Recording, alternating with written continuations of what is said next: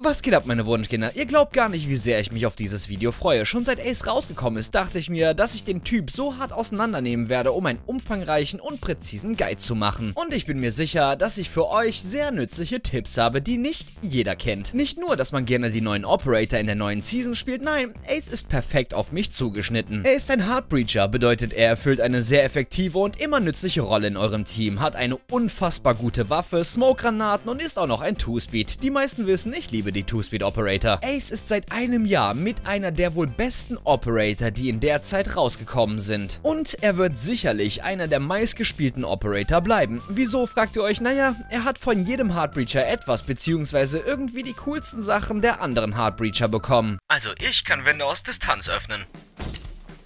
Kann ich auch. Aber durch meinen Breach kann man durchlaufen. Was hast du gesagt? Ich kann dich von hier hinten nicht hören.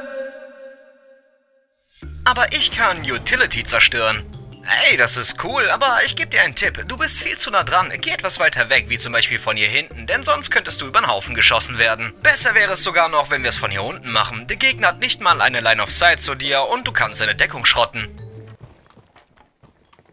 Es klingt irgendwie viel zu schön, um wahr zu sein, aber Ace ist halt einfach fast schon der perfekte Operator. Es beginnt ja allein schon mit seinem Loadout. Die AK hat den höchsten Damage-Output im Attack und eine sehr hohe Feuerrate. Das Ding schmilzt die Gegner nur so weg. Hat die P9 als Sekundärwaffe, was auch nicht schlecht ist. Ich meine, 45 Schaden und 16 Schuss sind schon echt saftig. Und hat dazu auch noch Rauchgranaten und das ist ein Grund, wieso Ace so gut ist. Aber dazu kommen wir gleich. Ich denke mal, ich rede jetzt nicht über die Konter von Ace, denn das sollte klar sein. Außerdem seid ihr schlaue kleine kleine Burschen, die das auch selber herausfinden. Es gab vor ein paar Wochen noch einen Trick, wo man Schockdraht mit Ace tricken konnte. Das geht jetzt aber nicht mehr. Auch wenn es ein sehr nützlicher Trick war, bin ich echt froh, dass es nicht mehr funktioniert. Außerdem gibt es ein paar andere Sachen, die ich euch gerne ans Herz legen würde und wieso Ace momentan mein meistgespielter Operator ist. Tipp Nummer 1. Der perfekte Breach. Das wird ein schnelles Thema, aber wird immer nützlich sein. Wenn ihr mit Ace einen perfekten Breach wollt, peilt an dieser Stelle eine Wand an, also diese zwei Pluszeichen, die weit auseinander sind. Wenn ihr hier in in der Mitte eine Ladung platziert, dann ist der Breach perfekt zum Durchgehen. Bei anderen Breaches, wenn ihr zum Beispiel niedriger oder höher platziert, kann es sein, dass ihr entweder crouchen müsst oder drüber springen müsst. Also immer schön darauf achten, auf der perfekten Höhe zu platzieren. Tipp Nummer 2. Machen wir weiter mit dem Zerstören von Utility. Und ja, ich weiß, es ist kein großes Geheimnis, dass Ace mobile Schilde zerstören kann. Aber hört erstmal zu. Das Zerstören gewisser Utility muss nicht immer zwanghaft von A nach B verlaufen. Wie ihr am Anfang des Videos schon gesehen habt, zerstöre ich Utility gerne von unten. Das das hat einen sehr großen Vorteil. Mobile Schilde sind sehr gefährlich und müssen definitiv zerstört werden, weil sie euch am Ende zur Qual werden können. Bedeutet, wenn ihr vor einem mobilen Schild steht, könnt ihr natürlich eure Selma direkt auf das Schild schmeißen, aber was könnte passieren?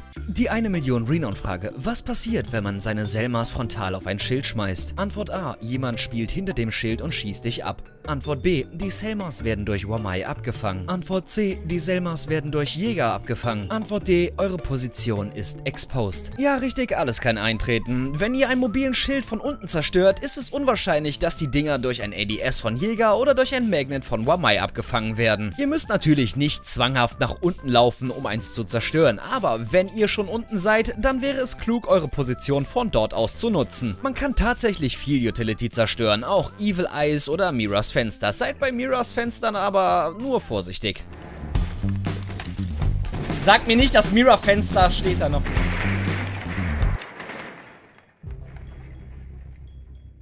Tipp Nummer 3. Uncommon Breach. Etwas, das ich sehr gerne hervorheben möchte und ein Grund war, wieso ich mich überhaupt dazu entschieden habe, ein detailliertes Video über Ace zu machen. Thermite ist für dicke Löcher, Hibana ist für die Luken zuständig, Maverick für eine Line of Sight und Ace ist für Breaches, die man eigentlich nur schwierig breachen kann. Also kommt auf meinen Schoß und hört erstmal zu. Es gibt auf Maps Wände und Luken, die immer geöffnet werden, durch Hibana, Maverick oder Thermite. Dann kommt Ace und gibt euch weitere Optionen, also Breaches, die man gerne öffnen würde, aber auch oft zu gefährlich sind. Ich zeige euch mal, was ich meine. 90 Hallway of Villa. Die Wand zum Vault ist unglaublich kostbar, weil man auch vom Fenster aus einen Engel halten kann. Aber es verteidigt meist jemand den 90 Hallway. Ihr müsst diese Person nicht killen. Ihr könnt sie verjagen, verwirren oder auch umgehen. Und jetzt sage ich euch was. Ich liebe die Smoke Breach Combo. Smoke rein, sodass sie direkt vor der Wand hochgeht. Sie verdeckt die Wand und ich schmeiße eine Selma hinterher. Somit ist es unfassbar schwer für den Verteidiger, die Selmas zu sehen und zu zerschießen schließen und zack, die Wall ist auf. Weiteres Beispiel, Chalet Westmain. Die Trophy Wall ist auch so unglaublich kostbar, wird aber kaum gebreached, weil es zu gefährlich ist. Man könnte von zu vielen Winkeln gepiekt werden. Also was machen wir?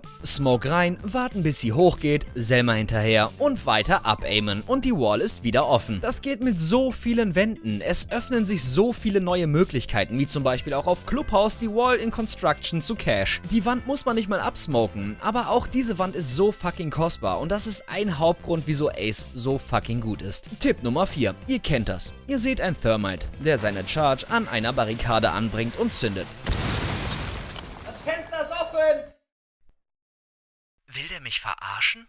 Ich kann verstehen, dass ihr ihm in den Hinterkopf schießen wollt, aber als Ace gibt es da einen bestimmten, sehr guten Grund für. Wenn ihr ein verbarrikadiertes Fenster seht und eine Selma dort gegenschmeißt, zerstört die Selma die dahinterliegenden Gadgets wie Stacheldraht, ADS, Gumin und alles, was da noch so rumliegt. Da gibt es schon ein paar nützliche Spots wie Bank, Archive Window, Chalet Trophy Window, Clubhouse TV Window, Coastline Kitchen Window oder auch die Door und, und, und. Es gibt fast auf jeder Map so ein Fenster. Behaltet es einfach mal im Hinterkopf. Tipp Tipp Nummer 5. Geräuschkulisse. Die Selmas brauchen sehr lange und sind verdammt laut, was durchaus ein sehr guter Faktor ist, mit dem man spielen kann, beziehungsweise zwei gute Faktoren. Wir nehmen mal das Beispiel Clubhouse und der beliebteste Verteidigungsort ist wohl Cash TV. Sagen wir, es ist eine 1v1-Situation, dann schmeißt eine Selma an die Garage und flankt durch die Main Door über die Main Stairs. Der lange und laute Breach-Vorgang der Selmas verdeckt eure Schritte und zieht gegebenenfalls auch die Aufmerksamkeit auf den Breach. Bedeutet, ihr seid ganz ganz woanders. Ihr habt ein Zeitfenster, welches ihr nutzen könnt und holt euch einen Vorteil raus. Ich muss natürlich nicht erwähnen, dass das überall funktioniert. Instagram und mein Merch sind in der Beschreibung verlinkt. Wir sehen uns in den Kommentaren. Euer